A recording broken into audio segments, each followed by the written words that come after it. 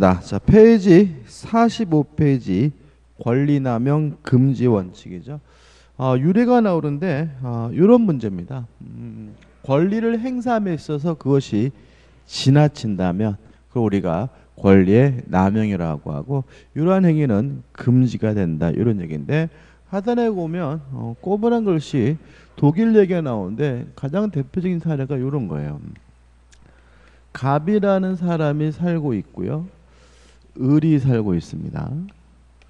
네, 요 갑과 을의 경계에 이렇게 담이 있는데 갑과 을이 철천지 왼수였거든요. 근데 갑이 어느 날 창문을 열어 보니까 을이 자기 마당에다 우물을 파고 있단 말이죠. 근데 갑의 입장에서 을이 아, 물 먹는 꼴을 못 보겠어요. 그래서 어떻게 하면 을을 아, 물먹 뭘 을을 못 먹게 할까라는 생각에 자기 마당에다가 우물을 100개를 파게 됩니다. 자 그러면 음, 일단 첫 번째 생각을 해볼 것은 자기 마당에 의무를 파는 것은 권리의 행사인 거죠. 근데 문제는 물을 먹기 위해서 하나 정도 파는 것은 별 문제가 없는데 100개를 봤다면 어 이건 뭐죠? 지나친 거죠. 지나친 행위가 있었고 그 다음에 문제가 되는 것은 이러한 갑의 행위는 자기가 물을 먹으려고 어, 우물을 100개나 판 것이 아니라 을을 우, 우, 우를 물을 못 먹게 하려고 다시 말하면 엿먹이려고 가의 의사가 있는 경우죠. 자, 이러한 경우에는 이러한 갑의 권리 행사가 지나친 것이고 남용이기 때문에 금지가 되는데 이걸 우리가 권리 남용 금지 원칙이거든요. 어, 요건에서 중요한 것은 두 가지죠. 지나친 행위가 있고 또 주관적으로 가의 의사, 연맥일 의사가 있어야 되는데 이 가의 의사에 대해서는 우리 학자분들은 필요 없다. 지나친 행위만 있으면 그것이 권리 남용이다라고 주장하시고요. 우리 판례는 주류 판례가 지나친 행위뿐만 아니라 가해 의사, 엿먹일 의사, 주관적 요건이 있어야 비로소 권리 남용으로서 금지가 된다는 게 우리 판례 입장이에요. 그래서 넘겨 보시면은 음, 페이지 어, 46페이지 하단 중간에 2번 권리 남용이 성립하기 위한 요건에서 동그라미 1번 행사할 권리가 존재할 건 권리가 있어야 되겠죠. 2번 권리 행사로 볼 수 있는 행위가 있을 것. 그죠? 권리 행사가 있고 3번 권리 행사자의 이익과 침해되는 상대방의 이익 사이에 불균형이 있을 것. 다시 말하면 지나친 행위가 있을 것이죠. 여기까지는 뭐 아무 문제 없는 거죠. 근데 문제는 아, 밑에 밑에가 나오는데 음, 판례는 주류적 입장은 주관적 요건을 요구한다. 판례 나와 있죠. 다시 말하면 주관적으로 가해하려는 의사, 연맥일 의사가 있어야 비로소 권리 남용이 된다는 것이 판례의 주류적 태도. 항상 그런 건 아닙니다. 자, 그다음에 이제 박스 밑에 어, 3번 권리 남용에 관한 판례 가지고 가 공공병리에 관하는 경우 바라는 경우인데 이거는 뭐 쉽게 보시면 이해할 수 있어요. 뭐 수로를 물물 물로죠. 수로를 폐쇄하는데 어, 이러한 수로 폐쇄가 결국은 너무나 지나친 것이고 또 가해 의사가 있다면 이것도 권리 남용이 될 수 있다 이런 얘기인데 중요한 판례는 아니고요. 그 다음에 넘겨보시면 47페이지에 속권의 남용에 의해서 일 하나 판례가 있는데 자 이런 얘기입니다. 아, 누가 누구에게 소송을 제기했어요. 속권이죠. 권리 행사죠. 근데 문제는 뭐냐면 가만 보니까 실제로 구제 받으려고 하는 게 아니라 어, 굉장히 뭐죠? 반복적이 우리가 악성 민원인 그런 거 있잖아요. 그런 것처럼 그 사람에 대해서 지나치게 소송을 남발하고 있단 말이죠. 지나친 행위가 있는 거죠. 근데 왜 이렇게 지나친 소송 소권을 남발하고 있느냐? 보니까 뭐 구제 받으려고 하는 것이 아니라 소송을 제기해서 상대방을 연맥이려는 가해 의사가 있는 경우죠. 이러한 경우에는 소송을 제기하는 것도 권리 남용으로서 허용될 수가 없다. 이런 취지의 판례니까 기억해 두시면 되고요. 그 다음에 다음은 동시 이해 항변권 행사입니다. 자, 동시 항변권 하면 뭐가 떠오르세요? 음, 돈안 주면 못 주겠다라고 거부할 수 있는 거잖아요. 그래서 예를 들어서 그쪽에서 매매 대금을 다 안 줬다는 이유로 못 이- 인도 못 하겠다. 그것은 뭐예요? 권리 행사인 건데 지나쳐요. 이게 무슨 말이냐면 그쪽에서 이행하지 않고 있는 것은 조금 경미한 것인데 이쪽에서는 동시에 이 항변권을 이유로 해서 전체 급부를 거부하고 있다면 지나친 것이고 또 따져봤더니 뭐 그 돈을 꼭 받겠다가 아니라 연맥이려는 주관적 의사가 있는 것으로 평가된다면 이러한 동시 이해 항변권도 권리 남용으로서 인정되지 않는다는 판례죠. 그들의 아번 인륜에 반하는 행위라고 나와 있는데 어, 그 비정한 딸 사건에서 굉장히 유명한 사건입니다. 자, 이건 어떤 사건이냐면 지금 이분이 갑이라고 할게요. 미국에 거주하고 있거든요. 근데 한국에 주택을 소유하고 있어요. 요 A 주택에 대해서 미국에 거주하고 있는 딸인 갑에게 뭐가 있는 거죠? 소유권이 있는 거죠. 근데 이 갑소유 요 주택에 누가 살고 있냐면 자기의 아버지와 그다음에 남동생이 살고 있었어요. 근데 뭐 판례 내용은 남동생이 연로하신 아버지를 부양하면서 살고 있다 이렇게 나오는데 실제 사건은 남동생이 소아마비였기 때문에 남동생도 굉장히 어려운 상태였거든요. 근데 문제는 이런 상태인데 요 갑이 자기 남동생과 아버지를 상대로 소유권을 이유로 나가라 명도 청구 반환을 청구하고 있어요. 자 물론 소유권을 이유로 내 집에서 나가라고 하는 것은 뭐인 거죠? 권리의 행사인 거예요. 근데 문제는 이분은 지금 미국에 거주하고 있기 때문에 요 아버지와 남동생을 내보낸다 하더라도 어차피 들어와 살 수는 없는 거거든요.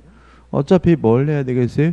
임대를 해야 되겠죠. 따라서 아버지나 남동생에게 차임을 달라 부당이득 반환해 달라 그거는 지나치지 않은 것을 평가될 수 있지만 그냥 무작정 나가라고 요구하는 것은 뭐가 되는 거죠? 지나친 거죠. 어차피 아버지와 남동생을 내보내더라도 갑이 그 집에 살 수는 없는 거니까요. 그 다음에 요 갑의 이러한 행위는 왜 한 것이냐? 지금 요 딸과 아버지와 남동생 간의 사이가 틀어졌어요. 원래 가까운 사람일수록 틀어지면 더 심하게 다투게 되죠. 그렇기 때문에 뭐 그 집에 살려는 것이 아니라 남동생과 아버지를 연맥이려는 가의 의사가 인정되기 때문에 이러한 갑의 행위는 권리 남용으로서 허용되지 않는다는 가장 전형적이고 대표적인 판례가 됩니다. 음. 그 다음에 이제 마번해 가지고 명의 관한 판례들이 나와 있는데 우리 주택관리단 시험은 부동산 실명법이 시험 범위가 아니기 때문에 명의 신탁에 대해서는 신경 쓰지 않으셔도 될 것 같아요. 보지 말라 말씀인 거죠. 그 다음에 넘겨보시면 바가 나옵니다. 자, 이건 어떤 문제냐면 갑이 미성년자예요. 미성년자고 갑의 아버지인 을이 뭐인 거죠? 친권자인 거죠. 근데 친권자로서 갑을 대리해서 갑의 재산을 처분하는 것은 뭐냐면 권리 행사인 거죠. 근데 문제는 이 미성년자가 교재에 보시면 아시겠지만 몇 개월만 있으면 뭐가 될 판이냐면 성년자가 될 판이거든요. 근데 이 을이 갑을 대리해서 갑의 재산을 큰아들인 을에게 뭘 하고 있냐면 증여를 하고 있단 말이죠. 그러니까 무슨 말이에요? 작은 아들은 갑보다 친아, 큰 아들이 뭐죠? 더 이쁘다는 거죠. 그래서 얘가 성년자가 되기 전에 요의 재산을 이쁜 큰 아들한테 어떻게 해요? 넘겨주려고 하는 거죠. 자, 그럼 생각해 보자고요. 자, 을은 명백히 친권자이기 때문에 이러한 증여 행위는 뭐가 되는 거죠? 권리 행사인 거죠. 근데 문제는 몇 달만 있으면 요 갑이 성년자가 되는데도 불구하고 큰아들에게 증여하는 것은 뭐가 되는 거죠? 지나친 행위로 평가되는 거고요.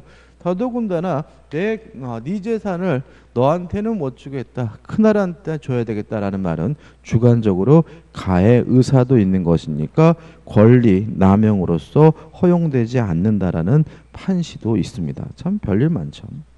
그 다음에 이제 4번 송전선 사례입니다. 자, 요거에 대해서는 뭐냐면 좀 기억해 두셔야 되는데 우리 판례가 이 송전선에 대해서는 이러한 송전선의 제거나 철거를 요구하는 것은 권리 남용이 아니다라고 판시하고 있다는 거 꼭 기억해 두시기 바랍니다. 뭐가 아니라고요? 권리 남용이. 아, 이게 좀 문제되는 것은 뭐냐면 이런 거거든요. 예를 들어 가지고 어, 내 땅 위로 송전선이 지나가고 있어요. 그러면 내 땅 위에 지나가는 송전선을 철거해 달라고 요구하는 것은 뭐인 거죠? 권리 행사인 거잖아요. 근데 문제는 그 송전선을 철거하게 되면 나에게 생기는 이익보다는 어, 침해가 너무 크죠. 수만 가구의 정전이 이루어지고 또이 송전선을 옮기려면 수백억의 예산이 필요한 경우라면 이러한 철거 행위는 제가 봤을 때는 뭐로 봐야 돼? 지나친 행위로 봐야 될 것 같은데 우리 판례는 권리 남용이 아니라고 판시하고 있습니다. 이런 판시의 가장 큰 이유는 뭐냐면 이런 것 같아요. 이런 겁니다. 그러니까는 우리는 과거에 송전선의 유해성을 잘 몰랐어요. 그래가지고 내 땅으로 송전선이 지나가더라도 그런가 보다라고 살고 있었거든요. 근데 어, 과학 문명이 발달하면서 전전판이 뭐냐 해가지고 송전선이 지나가는 지역은 뭐암 발생이 높다는 등 이런 것이 입증되고 있고요. 그 결과 송전선이 지나가는 지역의 땅값은 다른 지역 땅값보다 싸죠. 저렴하죠. 다시 말하면 이런 것들은 땅주 입장에서는 뭐 할 수 없다는 거예요? 받아들일 수가 없다는 거죠. 따라서 어, 송전선을 설치하고 있을 때는 가만히 있다가 아 이제 와서 보니까 이게 사람에 안 좋구나. 내 땅값이 오히려 떨어지는구나. 라는 사실을 알게 돼서 철거나 재고를 연구하는 것은 신의 측에 반하지도 않고요. 권리 남용에 해당하지 않는다라고 판시하고 있으니까 꼭 기억해 두시기 바랍니다. 그러니까 요 그러니까 우리가 실제로 어차피 시험 문제는 다음 중 권리 남용 해당하지 않는 것은 이런 식으로 판시가 아, 나올 테니까 요 송전산 사례에 대해서는 권리 남용이 아니라고 판시하고 있다는 거 기억해 두시면 문제 풀기 쉽겠죠. 그다음 철거 사례는 뭐 굉장히 제일 흔한 사례입니다. 우리 교재는 있는 판례는 아파트가 나오는데 아파트도 있고 더 쉬운 사례를 말씀드리면 자 여기 이제 학교가 있었어요 학교. 학교든 아파트는 상관은 없죠. 근데 인근에 갑이라는 사람이 거주하고 있었거든요. 근데 별 문제 없이 잘 살고 있었는데 갑이 측량을 해 보니까 이 학교가 자기 땅을 예를 들어서 한 평 반, 한 평 반을 침해하고 있다는 사실을 알게 된 거죠. 그래서 갑이 이 학교를 상대로 이 한 평 반에 대해서 명도 청구, 반환을 청구하는 소송을 제기한 거죠. 물론 갑의 땅을 돌려달라고 요구하는 것은 뭐인 거죠? 권리 행사인 거죠. 근데 문제는 뭐냐면 이런 경우 보통 문제되는 것은 이 학교 건물이 공교롭게도 기둥이 이 한 평반 갑의 땅에 있는 상태란 말이죠.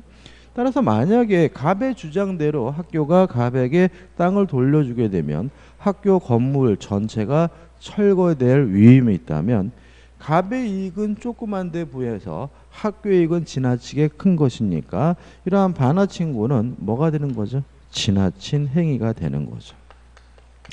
그 다음 또 하나 생각해 보실 것은 보통 이런 일이 벌어지게 되면 어떤 과정을 겪게 되냐면 갑이 학교에다가 땅을 사라고 요구하는 경우가 많아요. 그럼 학교가 어떻게 사줘야 되겠죠 한 평반을 그러면 시세대로 사겠다라고 하는데 보통 일반적으로 갑이 시세 두 배, 세 배도 적고요. 뭐 20배, 30배 어마어마한 금액을 요구하는 경우가 많거든요. 그래서 학교가 못 사고 있는 상태라면 이러한 철거 청구는 진짜 철거라기보다는 이러한 매매 교섭 과정에서 갑이 유리한 지위를 차지하기 위한 것이라는 거죠. 다시 말하면 주관적으로 이 땅을 꼭 돌려받겠다가 아니라 이 학교를 괴롭혀 가지고 학교를 연맥해 가지고 내가 이 땅 매매 교섭할 때 유리한 지위를 차지하겠다 이런 의미가 되기 때문에 주관적으로 뭐도 있는 거죠? 가의 의사도 있는 거죠. 따라서 이러한 반환 청구는 권리 남용인 것이고요. 권리 남용이기 때문에 이러한 청구는 뭐될 수 없는 거죠?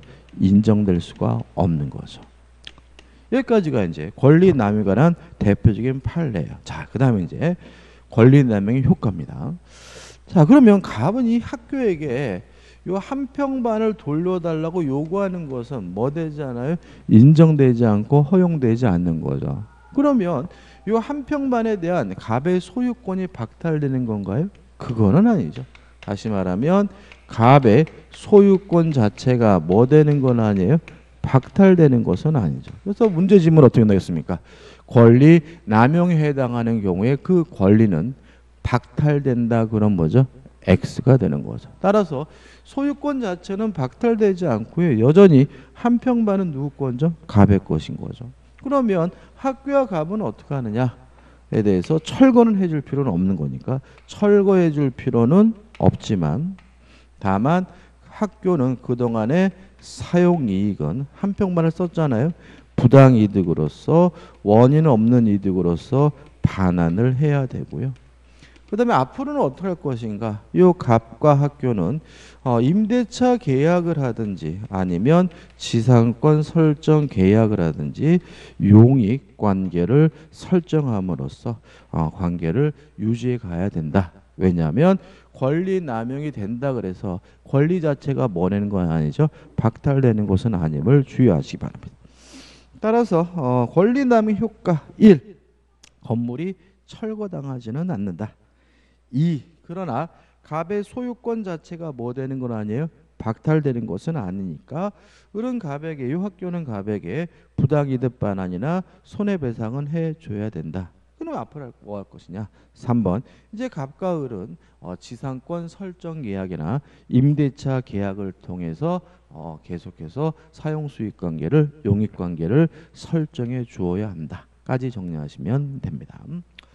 자 여기까지입니다. 자 49페이지 보시면 어, 기, 어, 대표 예지가 나와요. 참 풀어볼까요? 기본학위 문제. 신호 성실의 관한 설명으로 옳지 않은 것은 1번 소멸시에 기한 항변권의 행사도 신의 측에 적용될 수 있다. 오 맞는 질문입니다. 2번 계약 요소부 부당 파기는 신의 측에 비추어 불법 행위를 구성할 수 있다. 맞는 질문이고요.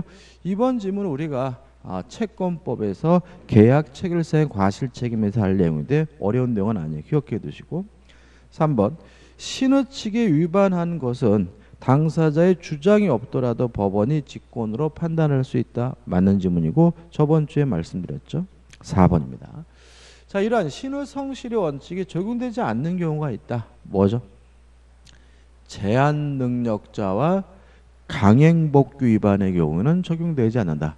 따라서 제한 능력자는 스스로 한 행위를 스스로 취소하는 것이 가능하고요.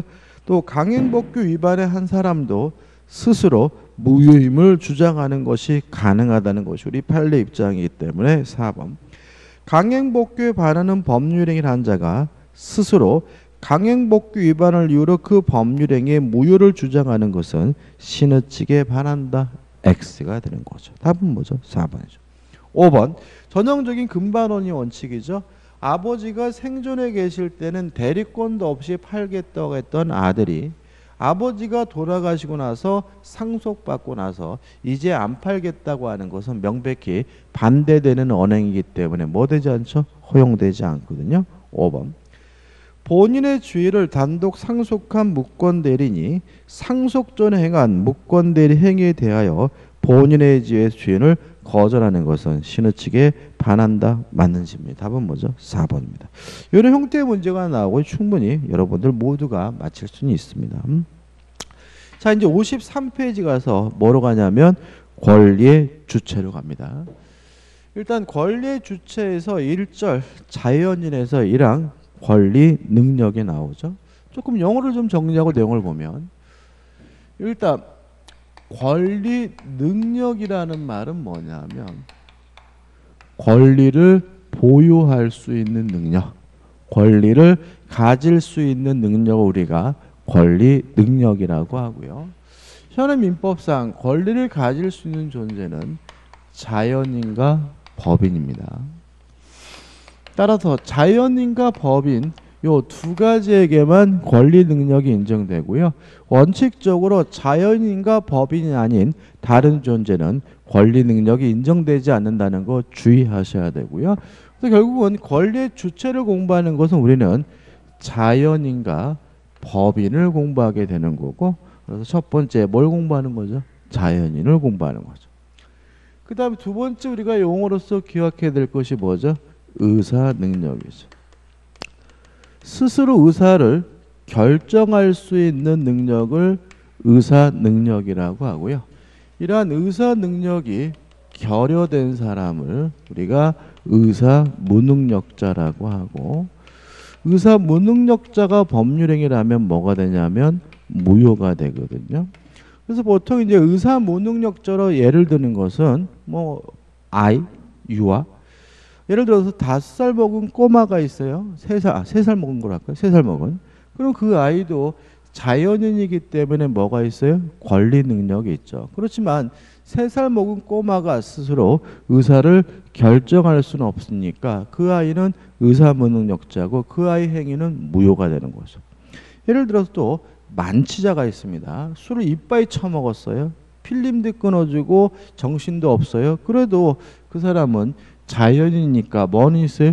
권리 능력은 있지만 스스로 의사를 결정할 수는 없기 때문에 만취자는 대표적인 의사 무능력자가 되는 거죠. 근데 좀 문제가 있습니다. 그러면 세 살 먹은 네 살 먹은 아이는 의사 무능력자인데 몇 살부터 의사 능력이 있는 거냐? 잘 몰라요. 왜냐하면 사람에 따라 다릅니다. case by case. 어, 똘똘한 친구라면 10살 됐더라도 의사 능력이 있다라고 평가될 수 있고요. 띨띨한 친구라면 17살이 됐더라도 의사 능력이 없다라고 평가될 수 있는 거죠. 또 만취자도 대단히 애매하죠. 왜요? 얼마나 술을 먹어야 만취자냐? 사람에 따라 다릅니다. 음, 저같이 술을 못 먹는 사람은 조금만 먹어도 만취자고요. 술을 잘 드시는 분들은 많이 드셔도 만취자가 아닌 거잖아요. 이건 뭐예요? 애매하다는 거죠. 그래서 실제로 의사 무능력자 관련해서 가장 명확한 자 사람이 누구냐면은 수면 중인 자예요. 이게 가장 쉬워요. 잠을 자고 있는 사람이죠. 자, 잠을 자고 있더라도 그 사람은 사람이기 때문에 뭐가 있어요? 권리 능력이 있죠. 근데 자고 있는 사람이 스스로 뭐 할 수는 없어요. 의사를 결정할 수는 없으니까 의사 무능력자. 그래서 우리가 만취자 이렇게 떠오르지 마시고 의사 무능력자에도 상관이 없다 이런 말이 나오면 자빠져 자고 있더라도 상관이 없다라고 대입을 해서 이해하시면 아주 깔끔하게 정리가 되는데 자꾸 애매한 어, 개념 가지고 따지려고 하니까 이게 어, 명확하지 않게 느껴지거든요. 자, 잠을 자고 있는 사람은 명백히 권리 능력은 있지만 스스로 의사 능력이 없기 때문에 의사를 결정할 수 없다. 의사 무능력자가 되는 거죠. 그다음에 다시 말씀드리면 아무튼 이 의사 무능력이라는 개념은 대단히 어, 뭐죠? case by case고 사람에 따라 다릅니다. 그래서 우리 민법은 이것을 유형화, 정형화 해 가지고 따로 규정을 두고 있는데 이러한 사람은 우리가 뭐라 그러냐면 제한 능력자라고 하고 제한 능력자가 법률행위를 하는 경우에는 뭐 할 수 있냐면 취소할 수 있다라고 규정을 두고 있는 거죠. 제한 능력자가 누군지에 대해서 우리가 앞으로 자세히 보겠죠. 미성년자 제한 능력자고요. 피한정 후견인 제한 능력자고 피성년 후견인도 제한 능력자고요. 이러한 사람이 한 법률에게는 뭐 할 수 있습니까? 취소할 수 있습니다. 이 정도만 개념을 잡고요. 자, 이제 우리는 뭘로 갈 거냐면 권리 능력으로 갈 거예요. 자, 권리 능력이 뭐냐면 권리를 가질 수 있는 능력이죠. 자, 우리 민법 3조가 규정을 두고 있어요. 제가 한번 읽어보면 3조죠. 사람은 생존한 동안 권리와 의무의 주체가 된다. 이렇게 나와 있죠. 그러면 사람은 권리 능력이 있는데 생존하는 동안 권리와 의무가 주, 체가 된다는 말은 생존하는 동안 권리 능력이 있다는 얘기고요. 따라서 출생한 때부터 사망할 때까지 뭐가 있는 거죠? 권리 능력이 있는 거죠. 자, 언제 출생이 되는 거냐에 대해서는 좀 논란이 있습니다. 왜냐하면 사람은 하나, 둘, 셋 짠하고 태어나는 게 아니거든요. 그래서 법에 따라 다르고 학설에 따라 다른데 우리 민법은 뭘 취하고 있냐면 전부 노출서를 취하고 있습니다. 따라서 엄마 몸에서 다 나오면 그때 출생한 것이고요. 엄마 몸에서 전부가 다 나와야 사람으로서 뭘 갖게 되는 거죠? 권리 능력을 갖게 되는 거죠. 그다음 사망 시기에 대해서도 학설의 대립이 있고 논란이 있는데 우리 민법은 맥박 종지설 해 가지고 맥박이 멈추는 순간 심장이 멈추는 순간 사망을 한 것이고요. 따라서 맥박이 멈추는 순간 심장이 멈추는 순간 권리 능력이 소멸된다라고 이해를 합니다. 자 그러면 심장이 멈추면 사망하죠. 권리 능력이 없어지죠. 그러면 그 후에 시신은 권리 능력이 없다는 얘기죠. 사람이 아니란 얘기죠. 그러면 시신이 무엇인가에 대해서는 일단 우리는 시신은 물건이다. 동의하시나요? 자, 우리 법은 사람 아니면 물건이에요. 그래서 맥박이 멈추는 순간 권리 능력이 소멸된다는 말은 맥박이 멈추는 순간 자연에서 뭐로 바뀌죠? 물건으로 바뀌게 된다는 얘기고요. 이 물건의 개념 우리가 나중에 또 봐야죠. 그 다음에 출생하기 전에를 우리가 뭐라 그러죠? 태아라고 하죠. 자, 그러면 우리는 민법 3조에 따라서 엄마 몸에서 전부가 다 나와야 비로소 사람이고 권리 능력이 되는 거니까 태아는 뭐가 없는 거죠? 권리 능력이 없는 거죠. 태아는 사람이 아닌 거예요. 음, 그럼 뭐냐에 대해서 우리 학설은 엄마 신체의 일부로 이해를 합니다. 이게 무슨 말이냐면 어머니 몸속에 있는 심장이나 폐나 간과 같은 엄마 신체에 뭐가 되는 거죠? 일부가 되는 거죠. 그래서 어떤 일이 벌어지게 되냐면 예를 들어서 가슴 아픈 얘기인데 임산부가 교통사고로 유산을 하면 운전한 사람은 과실치사 사람을 죽인 게 아니에요. 왜냐하면 그 태아는 유산한 아이는 사람이 아니라 엄마 신체의 일부니까요. 그럼 결국은 임산부를 교통사고로 유산시킨 사람은 사람을 죽인 것이 아니라 엄마를 다치게 한 거죠. 그래서 과실치사가 아니라 과실치상이 되는 겁니다. 어, 중상일까 경상일까에 대한 논란이 있겠지만 일반적으로 유사라는 것은 경상으로 평가가 됩니다. 왜냐하면 어, 장기간 입원 가료가 필요한 것도 아니고요. 유산하게 되면 신체에 장애가 남는 것도 아니거든요. 그래서 실제로 현행법상 태아가 유산하더라도 법적인 보호를 받지는 못해요. 보상금도 거의 뭐 없다시피 합니다. 그래서 이거에 이제 문제가 있는 거죠. 그래서 이러한 태아를 이 상태로 방치할 것인가 이 문제에 대해서 이 태아의 권리 능력 해가지고 뭐 독일이나 프랑스나 스위스 같은 선진국들은 일반적 보호주의에서 태아에게 일단 권리 능력을 인정합니다. 다만 몇 가지는 빼고요. 근데 우리 민법은 3조에 보다시피 태아는 뭐가 없는 거죠? 권리 능력이 없는 거죠.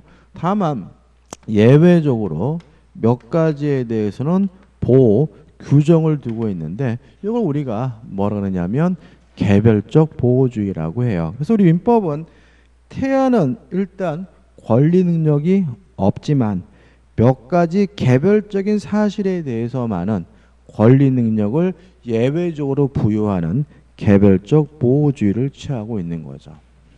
자, 뭘 인정하고 있냐면 첫째, 태아에게도 불법행위에 기한 손해배상 청구권은 인정을 합니다.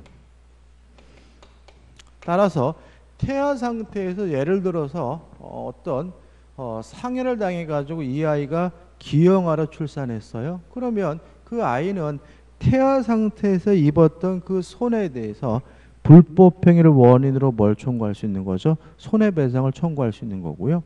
아니면 태아 상태에서 아버지가 교통사고로 돌아가셨어요. 그러면 이 태아는 출생을 한 후에 태아 상태에서 입었던 그 손해에 대해서 불법 행위를 원인으로 손해배상을 청구하거나 위자료를 청구할 수 있는 거거든요. 왜냐하면 태아 상태에서도 무엇을 인정해 줍니까? 불법 행위에 의한 손해배상 청구권은 인정이 돼요. 그 다음에 54페이지 오시면 2번에서 뭘 인정하냐면 상속권이 인정이 됩니다. 자, 상속권이 인정된다는 말은 태아에게는 유류분권도 인정이 된다는 얘기고요. 어, 상속권이 인정이 된다는 말은 태아에게도 대습 상속권이 인정이 된다는 얘기입니다. 유류분이라는 것은 뭐냐면 최소한도로 보장되는 상속 지분을 말해요. 예를 들어 가지고 아까도 비슷한 거 있었죠? 큰 아들이 있고 작은 아들이 있는데 작은 아들이 미워요. 그래서 아버지가 유언장에다가 내 재산은 작은 아들한테 한 푼도 주지 마라라고 유언장을 썼을 때 그 작은 아들에게 최소한대로 보장되는 상속분을 우리가 유류분권이라고 하고요. 일반적으로 원래 가지고 있던 상속 지분의 절반 정도는 보장받습니다. 누구에게, 누구에게도 인정이 되는 거예요? 태아에게도. 그 다음 대습 상속이라는 건 이런 겁니다. 대신 상속 받는다는 얘기인데 갑에게 예를 들어서 음, A, B, C 3남매를 두고 계셨고요. 또 C가 혼인해 가지고 small A라는 아이가 있죠. 그러니까 갑의 입장에서는 뭐인 거죠? 손자인 거예요. 근데 A가 그러니까 아버지가 먼저 돌아가시고 나중에 할아버지가 돌아가셨을 때 요 A는 상속을 못 받느냐? 일단은 상속권은 없습니다. 왜냐하면 1순위 상속권자는 뭐죠? 자식과 배우자거든요. 손자는 상속권이 없는 거예요. 그러면 이 아이는 할아버지 재산을 한 푼도 상속을 못 받느냐? 그건 아니고 이 아이는 아버지가 가질 수 있는 상속 지분을 대신해서 할아버지부터 상속을 받게 되는데 이런 걸 우리가 뭐죠? 대습 상속이라고 하고요. 요 A가 태아인 경우에도 대습 상속권은 인정되게 됨을 주의하시기 바랍니다. 그 다음 세 번째 유증을 받을 수가 있습니다. 자 유증이라는 말은 뭐냐면 유언의 방식으로 하는 증여죠. 다시 말하면 태아에게도 유언의 방식으로 뭐 할 수 있냐면 증여를 할 수는 있어요. 근데 주의하실 것은 유언의 방식으로 하는 증여는 가정하지만 사인 증여, 사망을 원인으로 하는 증여는 안 됩니다. 이유는 나중에 알게 되는데 유증은 상대방 없는 단독행위이기 때문에 상대방으로부터 동의나 승낙을 받을 필요 없으니까 태아에게도 할 수가 있는 거죠. 근데 증여는 계약이기 때문에 반드시 상대방으로부터 뭘 얻어야 되냐면 승낙을 얻어야 되거든요. 근데 우리 판례는 태아는 물론 스스로가 뭐 할 수 없어요? 승낙할 수도 없고 태아에게는 우리 판례에 따른다면 법정 대리인도 존재하지 않기 때문에 태아는 증여 사망을 원인으로 한 증여는 받을 수 없다는 것이 우리 판례 입장임을 주의하시기 바랍니다. 네 번째, 인지의 대상이 됩니다. 자, 인지라는 말은 뭐냐면 자기 자식임을 인정하는 행위를 우리가 인지라고 해요. 음, 그러니까 예를 들어 가지고 아버지가 와이프 아이 엄마 뱃속에 있는 아이를 내 자식이다라고 뭐 할 수는 있어요? 인지할 수는 있는 거죠. 근데 주의하실 것은 태아 상태에서는 인지해 달라고 청구할 수는 없다는 거 좀 주의하시 바랍니다. 다시 말하면 태아 상태에서도 인지의 대상이 될 수는 있지만 태아 스스로가 능동적으로 인지해 달라고 뭐 할 수는 없어요? 청구할 수 없음을 주의하시 바래요. 그래서 요 네 가지에 대해서 예외적으로 보호한다. 예외적으로 출생한 것으로 본다. 예외적으로 권리 능력을 인정하고 있거든요. 시험에 잘 나오는 편입니다. 근데 문제는 이 네 가지에 대해서 권리 능력이 인정된다는 말이 무엇을 의미하느냐에 대해서 3번 태아의 법적 지위에서 1번 정지 조건 설감 55페이지 가시면 해제 조건설이 나옵니다. 일단 개념부터 먼저 말씀드리면 정지 조건이라는 것은 뭐냐 하면 조건이 성취가 돼야 비로소 효과가 생기는 게 정지 조건이에요. 좀 적어보면 이런 얘기죠. 나중에 또 우리가 자세히 배우겠죠. 정지 조건이란 현재 지금은 효과가 없지만 미래에 조건이 성취가 되면 비로소 효과가 생기는 걸 우리가 정지 조건이라고 해요. 이에 반해서 해제 조건이라는 것은 뭐냐면 현재 이미 효과가 있어요. 다만 미래 조건이 성취가 되면 효과가 없어질지도 모르는 게 뭐냐면 해제 조건인 거죠. 예를 들어서 네가 공인중개사 시험에 합격을 하면 1억을 주겠다라는 말은 지금 주겠다는 얘기는 아닌 거죠. 미래에 합격하면 그때 비로소 주겠다는 얘기니까 뭐 공인중개사 시험, 주택거래사 시험에 합격하면 1억을 주겠다 이런 건 뭐죠? 정지 조건인 거죠. 근데 만약에 지금 1억을 주면서 열심히 공부해야 돼. 너 떨어지면 불합격하면 요거 반환해야 돼 라고 했다면 지금 당장은 증여계약료가 있는 거잖아요. 다만 미래 불합격하면 조건이 성취가 되면 증여계약 효과가 없어지니까 돌려주는 거죠. 이런 걸 우리가 뭐라 그러냐면 해제 조건이라고 해요. 자 그럼 보자고요. 자 정지 조건서는 뭐냐면 태아 상태에서는 지금은 현재 권리 능력이 없다는 거죠. 다만 출생하게 되면 비로소 미래의 권리 능력을 소급해서 갖게 되는 거다라고 이해하는 것이 뭐죠? 정지 조건설인 거고요. 해제 조건설은 민법 규정에 나와 있는 것처럼 태아도 권리 능력이 있어야 되니까 태아도 현재 태아 상태에서도 뭐가 있냐면 권리 능력이 있는 건데 만약에 사산하게 되면 출생하지 못하게 되면 있던 권리 능력이 없어져 버리는 거다. 이렇게 이해하는 것이 뭐죠? 해제 조건설이 되는 거죠. 자, 이 학설이 차이점이 있게 되는 이유는 뭐냐면 음, 상속의 어, 1순위 상속권자 때문에 그래요. 자, 한번 생각해 볼게요. 자, 갑이 있고요. 갑에게 을이라는 아들이 있고 을과 병이 뭐냐면 부부예요. 근데 요 병이 아, 을과 병에게 아이는 없고 병이 임신하고 계시거든요. 태아만 있는 상태, 태아를 A라고 할게요.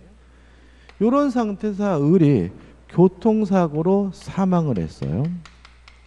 자, 상속 순위는 어떻게 되냐면 1순위가 배우자 및 자식과 자식이 없으면 배우자와 부모거든요.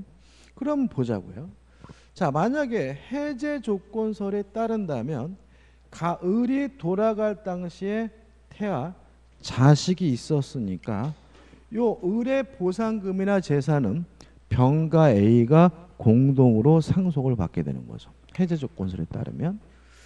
근데 정지 조건설에 따르면 을이 돌아갈 당시에 A에게는 뭐가 없어요? 권리 능력이 없으니까 자식이 없으니까 갑과 병이 공동으로 뭘 받게 되냐면 상속을 받게 되고요. 요 A가 나중에 출생하게 되면 그때 비로소 소급해서 권리 능력을 갖게 되니까 요 할아버지는 받아뒀던 재산을 A에게 넘겨주는 방식으로 해결해야 된다. 이게 뭐죠? 정지 조건설의 차이점인 거죠. 감 잡히시나요? 자, 근데 문제는 우리 판례는 뭘 취하냐면 정지 조건설을 취해요. 따라서 태아 상태 일단 뭐가 없습니까? 권리 능력이 없다. 없는 존재로서 취급하고요. 다만 출생을 해야 비로소 권리 능력이 인정된다는 입장이죠. 뭐에 대해서요? 요 네 가지에 대해서요. 이에 반해서 우리 학설은 해제 조건서를 취합니다. 따라서 우리 학설에 따르면 태아 상태에서도 뭐가 있어요? 권리 능력이 있기 때문에 우리 돌아가실 당시 의뢰 재산을 태아가 독자적으로 뭐할수 있어요? 상속받을 수 있다라고 이해를 해요. 뭐가 맞는 것 같은가요? 이게 이제 구체적으로 좀 자세히 배우게 되면 아 판례가 좀 일리가 있구나 이렇게 알게 되고 그냥 이렇게 그냥 지금 개념만 잡고 오면은 왠지 학설이 맞는 것 같은데 아무튼 옳고 그르고는 뭐 판단하지 않겠습니다. 근데 여기서 우리가 좀 생각해 볼 게 있어요. 자 이게 시점은 다르지만 정지 조건설에 따르더라도 출생을 해야 비로소 뭘 갖게 돼요? 권리 능력을 갖게 되고 해제 조건설을 따르더라도 사산하게 되면 권리 능력을 상실하니까 해제 조건이든 정지 조건인 점이든 공통되는 점은 반드시 이 태아가 뭐가 돼야 돼요? 출생을 해야 된다는 거죠. 만약에 태아가 출생하지 못했다면 정지 조건설이든 해제 조건설이든 뭐가 인정될 수는 없어요. 권리 능력이 인정될 수 없다는 점은 공통점이라는 거 잊지 마시기 바랍니다. 따라서 어떤 학설을 취하든지 간에 우리 민법에서 규정하고 있는 요 네 가지에 대해서 태아에게 권리 능력이 인정되려면 반드시 이 태아는 뭐가 돼야 돼요? 출생이 돼야 된다. 이게 시험에 잘 나와요. 그럼 이렇게 되는 거죠. 자, 태아 상태에서요. 교통사고를 당했어요. 그러면 근데 이 아이가 어머니가 유산하셨네요. 그러면 이 아이는 출생하지 못했기 때문에 어떤 학설을 치든지 간에 불법 행위를 원인으로 뭘 청구할 수 없는 거예요? 손해배상을 청구할 수 없는 거죠.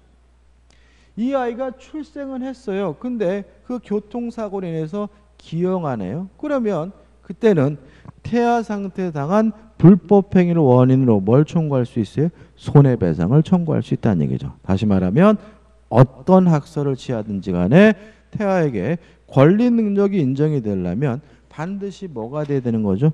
출생을 해야 된다는 얘기죠. 그래서 그런 얘기는 다 나와 있어요. 그래서 55페이지 보시면 4 하단에 태아가 권리 능력을 취득하기 위한 전제 조건 반드시 뭘 해야 돼요? 살아서 출생해야 된다. 어떤 학설을 취하든지 간에 살아서 출생하지 못했다면 권리 능력은 인정되지 않습니다. 자, 기본 학위 문제 풀어볼게요. 권리 능력에 관한 설명으로 옳지 않은 것은 1번 사람은 생존하는 동안 권리와 의무의 주체가 된다. 물론 맞는 질문이죠. 2번 민법은 일정한 사항에 대해서만 예외적으로 태아가 이미 출생한 것으로 본다. 무슨 말이죠? 태아는 원칙적으로 권리 능력이 없고 몇 가지 사항에 대해서 예외적으로 권리 능력이 인정된다는 얘기고요. 3번 자연인의 권리 능력은 출생이란 사실에 의하여 취득하는 것이고 출생 신고에 의하여 취득하는 것은 아니다. 당연한 얘기죠. 다시 말하면 출생 엄마 몸에서 전부 노출되는 순간 출생 신고를 했는지 안 했는지 상관없이 뭐가 되는 거죠? 권리 능력을 갖게 되는 거죠. 4번 운전자 갑의 과실에 의한 교통사고로 모가 충격되어 태아가 사산된 경우 모는 태아의 갑에 대한 손해배상 충고권을 상속받아 갑에게 행사할 수 있다. X죠. 자, 왜 X인 거예요? 지금 어떤 학설을 취하든 거지 간에 태아는 반드시 뭐가 돼야 돼요? 출생해야 하잖아요. 문제 지문에서 태아가 뭐가 됐대요? 사산이 됐대요. 출생하지 못했대요. 그러면 요 불법 행위가 손해배상 청구권 뭐 될 수 없어요? 인정될 수가 없으니까 답은 4번이 되는 거죠. 5번 태아 의뢰 출생 전에 갑의 불법 행위로 의뢰부가 사망한 경우 출생한 을은 아 태아가 뭐 했습니까? 출생을 했네요. 그러면 권리 능력이 인정되니까 출생한 을은 갑에 대하여 부의 사망에 따른 자신의 정신적 손해에 대한 배상을 청구할 수 있다. 5번은 맞는 거고 4번 X고 차이점은 뭐죠? 출생했느냐 아느냐 문제인 거죠. 자 이번 강의 여기까지 하고요. 다음 강의 때 제2항 행위 능력으로 들어가도록 하겠습니다. 고맙습니다.